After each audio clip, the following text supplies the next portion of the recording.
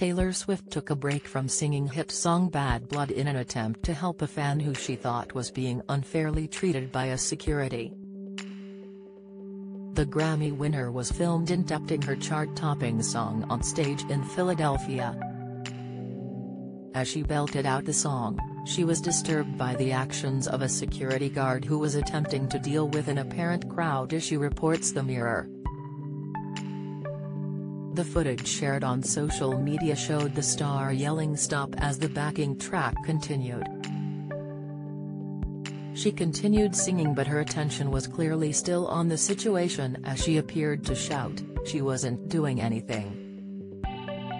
And whilst it wasn't obvious what caused the outburst, fans online described how one concertgoer was simply trying to take pictures when the uproar began and they were subsequently taken away from security. Fans were quick to praise the Red Star for her actions, whilst she continued the concert.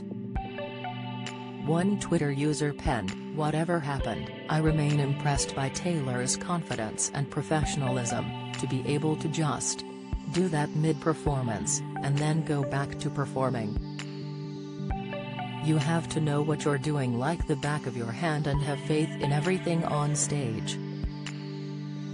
She is a performer, Another wrote, I would hate to be the security guy that got in trouble with her, while a third suggested, immediately fired for sure.